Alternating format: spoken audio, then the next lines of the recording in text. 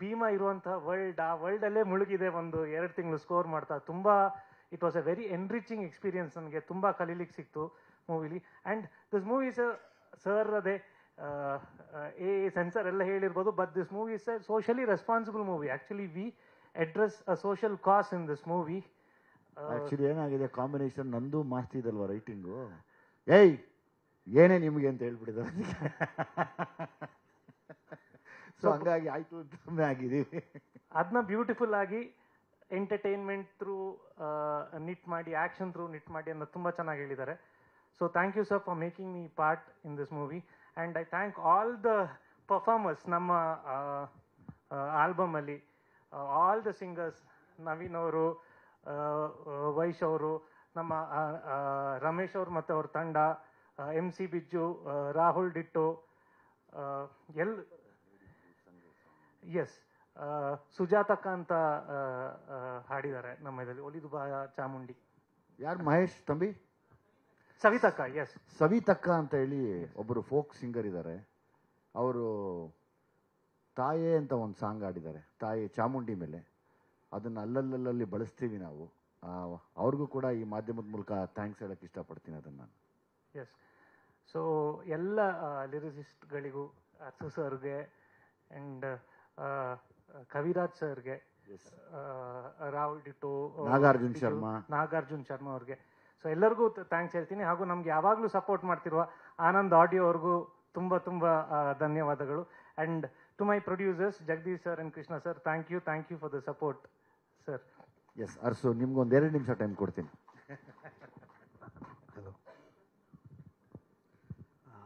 ಮಾಧ್ಯಮ ಮಿತ್ರರಿಗೆಲ್ಲರ ನಮಸ್ಕಾರ. ಈ ಒಂದು ಭೀಮಾ ಚಿತ್ರದ ಭಾಗವಾಗಿ ನಾನು ಇರೋದು ತುಂಬ ಖುಷಿ ಪಡ್ತೀನಿ. ವಿಜಯ್ ಸರ್ ನಾನು ಯಾವಾಗಲೂ ಎಮೋಷನಲ್ ರೈಟ್ರು ಅಂತ ಅವ್ರ ಸಿನಿಮಾಗಳಲ್ಲಿ ಕರೆದ ಅವಕಾಶ ಮಾಡಿಕೊಡ್ತಾರೆ. ತುಂಬ ಇಷ್ಟ ಅವ್ರಿಗೆ ನನ್ನ ಬರವಣಿಗೆ. ಕೊರೋನಾ ಆದಮೇಲೆ ಕನ್ನಡ ಚಿತ್ರರಂಗಕ್ಕೆ ಮೊದಲನೇದಾಗಿ ಪುಷ್ಟಿಯನ್ನು, ಗೆಲುವನ್ನು ತಂದುಕೊಟ್ಟಂಥ ಸಿನಿಮಾ ಸಲಗ. ಈ ಕನ್ನಡ ಚಿತ್ರರಂಗದ ಇವತ್ತಿನ ದುಸ್ಥಿತಿನಲ್ಲಿ ಮತ್ತೆ ಮರುಪುಷ್ಟಿಯನ್ನು ಭೀಮ ಮುಖಾಂತರ ಕನ್ನಡ ಚಿತ್ರರಂಗ ಕಾಣುವಂತಾಗಲಿ ಅಂತ ನಾನು ಆಶಿಸ್ತೀನಿ. ಸೊ ಇದು ಮುಖಾಂತರ ವಿಜಯ್ ಸರ್ ನಿರ್ದೇಶಕರಾಗಿ ಹೀಗೆ ಮುಂದುವರಿಲಿ, ಯಾಕೆಂದರೆ ಅವರವರಿಂದ ಇನ್ನೂ ಒಳ್ಳೊಳ್ಳೆ ಬತ್ತಳಿಕೆಗಳು ಆಚೆ ಬರಬೇಕಾಗಿದೆ.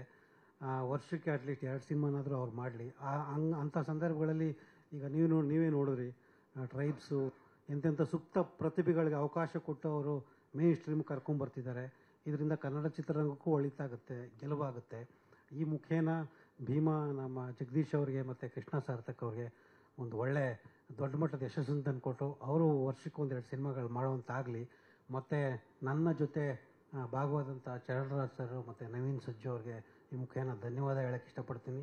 ಒಟ್ಟಿನಲ್ಲಿ ಸಿನಿಮಾ ಗೆಲ್ಲಲಿ ಕನ್ನಡ ಚಿತ್ರರಂಗ ಗೆಲ್ಲಲಿ ಈ ಮುಖಾಂತರ ಕೇಳ್ಕೊಳ್ತೀನಿ. Thank you thank you so much ಬಾ, ಡಿ ಒ ಪಿ. ಶಿವ ಎರಡು ಮಾತಾಡು, ಟೈಮ್ ಇಲ್ಲ, ಟಕ ಟಕ ಅಂತ. ಎಲ್ರಿಗೂ ನಮಸ್ಕಾರ. ಇವತ್ತೆಲ್ಲ ಸರ್ರೆ ಹೇಳಿದ್ದಾರೆ. ಖುಷಿ ಆಗ್ತಿದೆ. ಥ್ಯಾಂಕ್ ಯು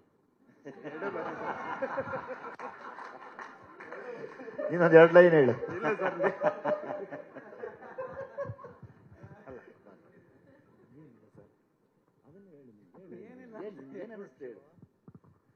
ಯೂಶ್ವಲಿ ಇವತ್ತು ತುಂಬ ಚೆನ್ನಾಗಿ ರೆಸ್ಪಾನ್ಸ್ ಸಿಗ್ತಿದೆ ಅದು ಖುಷಿ ಇದೆ. ಅದಕ್ಕೆಲ್ಲ ಕಾರಣಕರ್ತರು ನಮ್ಮ ಡೈರೆಕ್ಟರ್ ಆ್ಯಂಡ್ ಪ್ರೊಡ್ಯೂಸರ್ಸ್ ಬ್ಯಾಕ್ ಹ್ಯಾಂಡಲ್ಲಿ ಕೆಲಸ ಮಾಡಿರೋ ಎಲ್ಲ ಟೆಕ್ನಿಷಿಯನ್ಸು ನೀನು ಇಲ್ಲಿ ಪ್ರೊಡ್ಯೂಸರ್ ನನ್ನ ಯಾರನ್ನೂ ಹೊಗಳ್ಬೇಡ. ನೀನು ಎಕ್ಸ್ಪೀರಿಯನ್ಸ್ ಹೇಳು ಪ್ಲೀಸ್ ಎಲ್ಲೋದ್ರೂ ಇದೇ ಆಗ್ಬಿಡುತ್ತೆ ಕಾರ್ಯಕ್ರಮ. ಒಬ್ಬರೊಬ್ಬರು ಹೊಗಳ್ಕೊಂಡು ಕೂತ್ಕೊಳ್ಳೋದು ಅವರು ಕರೆಕ್ಟ್ ಇವ್ರು ಕರೆಕ್ಟ್ ಅಂತ. ಖಂಡಿತ ಎಕ್ಸ್ಪೀರಿಯನ್ಸ್ ಶೇರ್ ಮಾಡೋಣ. ಶೀಘ್ರದಲ್ಲೇ ಟ್ರೈಲರ್ ಬರ್ತಿದೆ. ಅದ್ರ ಮುಖಾಂತರ ನಾನು ಹಂಚ್ಕೊಳಕ್ಕೆ ಇಷ್ಟಪಡ್ತೀನಿ. ಬಾಪ ಏ ಕೊಡಿಸ್ತು ಪುಣ್ಯಾತ್ಮ. ಬಾ.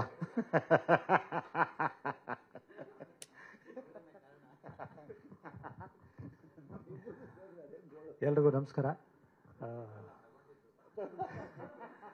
ಸೆನ್ಸಾರ್ಗೆ ಹೋಗೋವಾಗಲೂ ಒಂದು ಸ್ವಲ್ಪ ಭಯ ಆಗುತ್ತೆ, ಬಟ್ ರಿಸಲ್ಟ್ ನಮಗೆ ಗೊತ್ತಿರುತ್ತೆ, ಅದಕ್ಕೆ ನಿಂತೇ ಇರ್ತೀವಿ. ಭೀಮಾ ಬಗ್ಗೆ ಹೇಳಬೇಕು ಅಂದರೆ, ಭೀಮಾ ಅಂದರೆ ಯಾವಾಗಲೂ ಪುರಾಣಗಳಲ್ಲಿ ಬರೆದಿರೋದು ಸಾವಿರ ಆನೆಗಳ ಶಕ್ತಿ ಇರೋವಂಥದ್ದು ಭೀಮಾ ಅನ್ನೋ ಒಂದು ಶಕ್ತಿ. ಸೊ ಸಲಗ ಒಂದು ಶಕ್ತಿ ಆಗಿದ್ರೆ ಇದಕ್ಕೆ ಎಲ್ಲ ಥರದ ಇದೂ ಇದೆ. ನೀವು ಏನೇ ಹಾಡುಗಳು ಮತ್ತೊಂದು ನೋಡಿ ನಾವು ಯಾವಾಗಲೂ ಚರಣ್ರಾಜ್ ಸರ್ಗೆ ಥ್ಯಾಂಕ್ಸ್ ಹೇಳೇ ಹೇಳ್ತೀವಿ. ಯಾಕಂದರೆ ಫಸ್ಟು ಸೆಂಚುರಿ ಹೊಡೆದ್ಬಿಟ್ಟಿರ್ತಾರೆ. ಆಮೇಲೆ ನಾವೆಲ್ಲ ಬ್ಯಾಟ್ಸ್ಮನ್ಗಳಾಗಿ ಹಿಡಿದಾಗ ನಮಗೆ ಒಳ್ಳೆ ಓಪನಿಂಗ್ ಸಿಕ್ಕಿರುತ್ತೆ.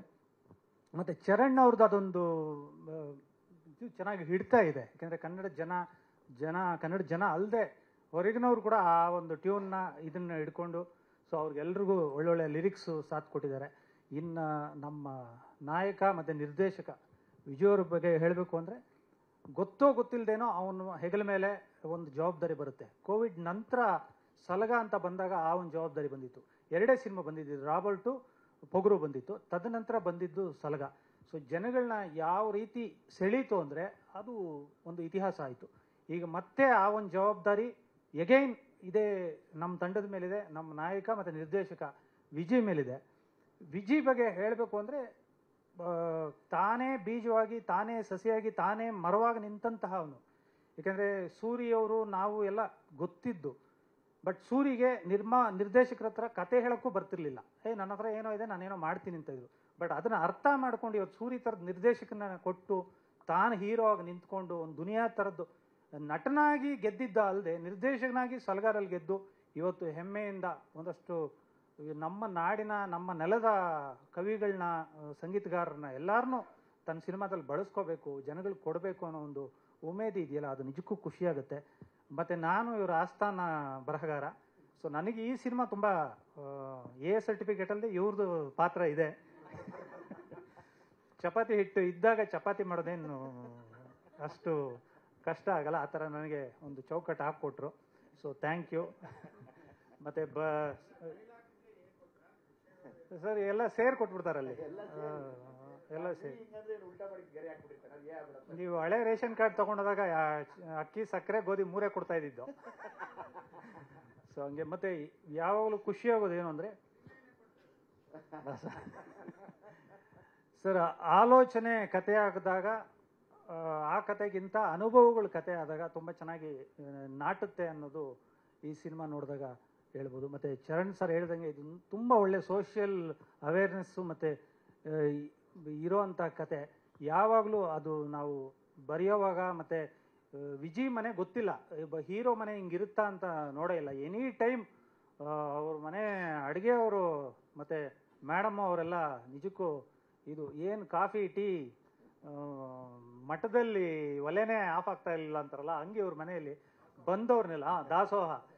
ಅಷ್ಟು ಚೆನ್ನಾಗಿ ನೋಡಿಕೊಂಡು ಮತ್ತು ಬಂದವ್ರನ್ನೆಲ್ಲರನ್ನೂ ಸಿನಿಮಾಗೋಸ್ಕರ ದುಡಿಯೋದು. ವಿಜಿಲಿ ಅದೊಂದು ನಾನು, ನಾನೇ ಅಲ್ಲ, ಬರೋ ಎಲ್ಲರೂ ಕಲಿಬೇಕಾಗಿರೋದು. ಅವ್ರ ಮೈಂಡಲ್ಲಿ ಏನೂ ಓಡಲ್ಲ. Cinema cinema cinema. ಸೊ ಇವತ್ತೊಂದು ಭೀಮ ಒಂಬತ್ತನೇ ತಾರೀಕು ನಿಂತಿದೆ. ಮತ್ತೆ ಒಂದು ಕಷ್ಟ ಪರಿಸ್ಥಿತಿಯಲ್ಲಿದೆ ಚಿತ್ರರಂಗ. ಏಕೆಂದರೆ ಒಂದಷ್ಟು ಸಿನಿಮಾಗಳು ಓಡ್ತಾ ಇಲ್ಲ. ಬರೀ ಕನ್ನಡ ಚಿತ್ರರಂಗ ಅಂತಲ್ಲ, ತೆಲುಗಲ್ಲಂತೂ ಯಾವುದೂ ಸಿನಿಮಾ ಇಲ್ಲ. ತಮಿಳಲ್ಲೂ ಈಗೀಗ ಬರ್ತಾ ಇದ್ದಾವೆ ಸ್ವಲ್ಪ ಸ್ಕೋರ್ ಮಾಡ್ತಾ ಇರೋದು ನಮ್ಮ ಬೇಕ್ರಿ ಮಲಯಾಳಂ ಅವರು ಅದು ಬೇಕ್ರಿ ಫುಡ್ ಎನಿ ಟೈಮ್ ಬ್ರೆಡ್ಡು ಬೇಕಾಗುತ್ತೆ ಹಾಲು ಬೇಕಾಗುತ್ತೆ. ಸೊ ಸೊ ನಮ್ಮ ಕನ್ನಡದವರು ನಮ್ಮ ಕೈ ಬಿಡಲ್ಲ ಅಂತ ನಂಬಿದೀವಿ. ಭೀಮಾ ಅಂತೂ ಮನೋರಂಜನೆ ಜೊತೆ ಒಂದು ಮುದ್ದಾದ ಕತೆ ಇದೆ.